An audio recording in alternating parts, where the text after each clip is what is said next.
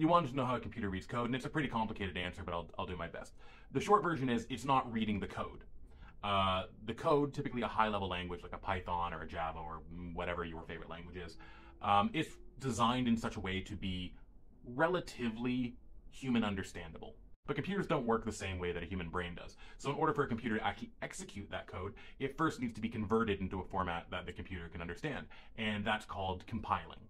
In a language like a Java or a C++, that compiling needs to happen in advance before you even try to run the code. But in a scripting language like, say, a Python, it kind of happens on the fly. But what is compiling? Compiling is the process of taking that high level, meaning human understandable code, and converting it into a series of low level, meaning machine understandable instructions. Ultimately, the computer processor, uh, the thing that's actually running the program, it never sees the code. What it sees is a set of binary numbers, and those binary numbers are formatted in such a way that they encode operands. Uh, an operand being a simple mathematical operation like an add or a logical and or uh, even just like shifting a binary number to the left or to the right. And the way in which that processor knows to convert that binary number into that operand, or even uh, the set of operands that that processor is able to support, uh, that's all part of the processor's design. That's the instruction set. Different types of processors will have different instruction sets. So uh, one of the more common uh, types of processors is what's called the x86 processor, although it might uh, technically be x64. I'm not sure. I'm not a computer engineer.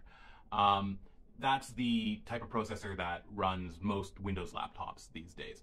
But a different type of processor that is rising in popularity are ARM-based processors. So your phone probably uses an ARM-based processor.